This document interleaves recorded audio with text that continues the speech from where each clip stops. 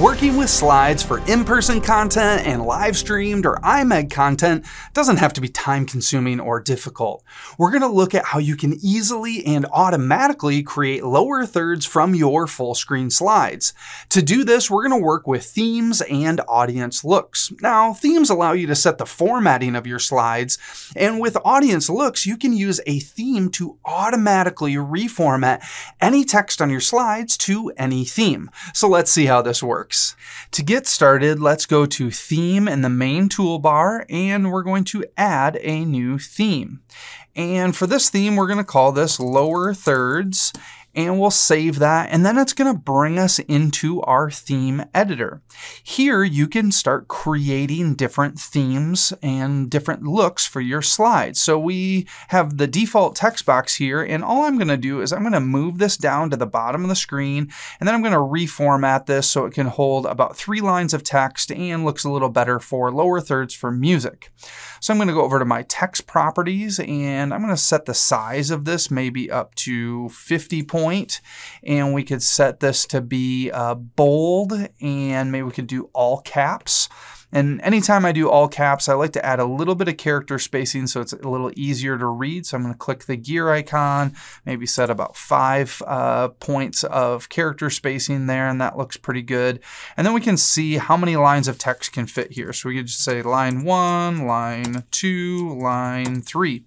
And you can see that we can easily fit three lines of text, and we can make that a little smaller and move it down if we want to. Now, the text that's inside of this box doesn't really matter because when when this theme gets applied to a slide, it's just going to use the text on the slide and apply this look to it. The same will happen with our alternate looks. And so the last thing that we need to do is actually name what this theme slide is called. So I'm just going to select, uh, click on the outside area here, and then this will change my sidebar here so I can name this theme slide to lower music. And that way we know what this theme slide is. Next, we can go into looks to apply this theme in a look. So we're going to go to screens and to edit looks. And here you can see all of our different audience screens and all of the layers on the screens. But the main layer that we're focused on right now is the presentation slide layer where we can set a alternate theme. Now I'm going to create a preset for this that I'm going to call music so that anytime we're doing music, we can use this look. And for this music preset, I'm going to go on my live stream screen and for the presentation slide layer here, I can choose an alternate theme. And I'm going to choose my lower thirds, lower music. And then the other thing that I want to do is disable the media layer because on my live stream screen, I only want to see the video input and my slide text. I don't want to see any media backgrounds that I would show on my main output. So now we can close this out and go back to our show view and we can see this in action. So here I have a motion background that I downloaded from Pro Content and then you can see our text over top of it. So our slides look exactly the way we want. But if I switch over from my main output to my live stream screen, you'll see that it looks exactly the same. But if I click over here on Mr. Mustache, he uh, controls all of our audience looks and allows us to see which audience look is currently active. I can switch this to music. And when I do that, you're going to see that it switched our audience look and it's now applying that theme to our slides in real time. So when I click on a slide, it's going to show me that text. And if I go back to my main output, we still have our full screen text and our motion background. So you can see how that applies it to those slides in real time using audience looks. Now, one thing to keep in mind when you start using alternate themes is how many text boxes you have.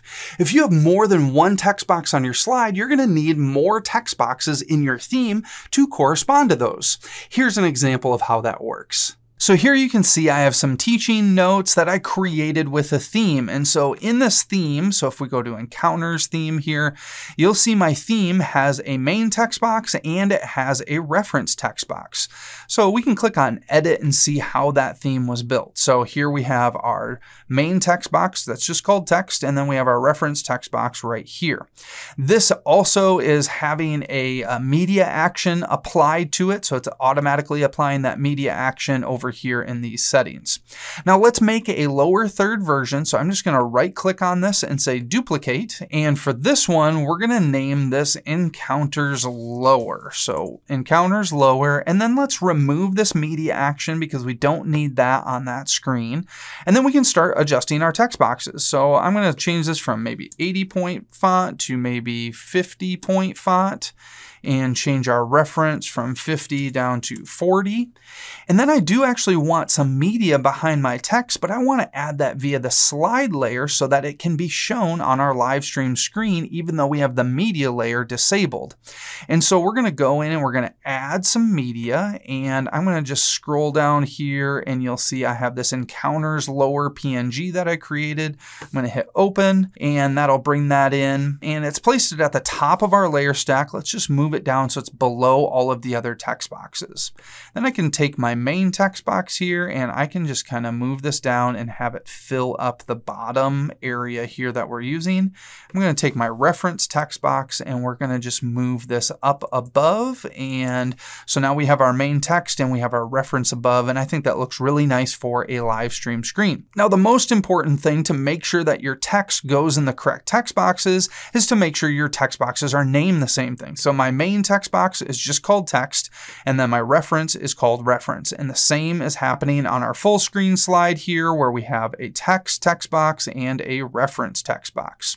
So now let's go create a audience look to use for our teaching. So we're going to go back to screens and go to edit looks.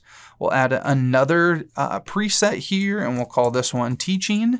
And we'll do the same thing we did earlier where we're going to disable the media layer. And then for the slide layer on our live stream screen, we're going to go in and we're going to find encounters and we're going to choose the, this encounters lower theme slide.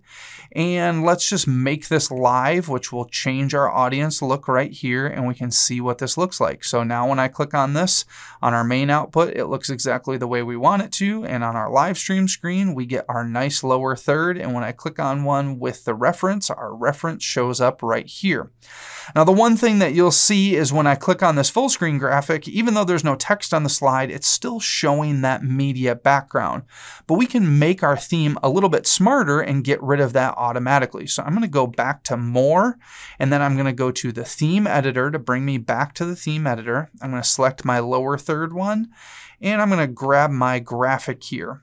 And then under the shape properties, you'll see an option for visibility. For the visibility of this, I'm going to say slide object of text has text. So this piece of media, this PNG, will only show if this text box here has text in it. If it does not have text, that media background will not show. So now we can see how this looks. So when I show this, you'll see we get our background and our text. And when I click on this slide, since there's no text in any of the text boxes, nothing shows. And when I click on this one with the reference, we get all of it. Alternate themes and looks can transform your presentations by making your text look perfect on any output. Now you can find more training and tutorials on our YouTube channel or at renewedvision.com.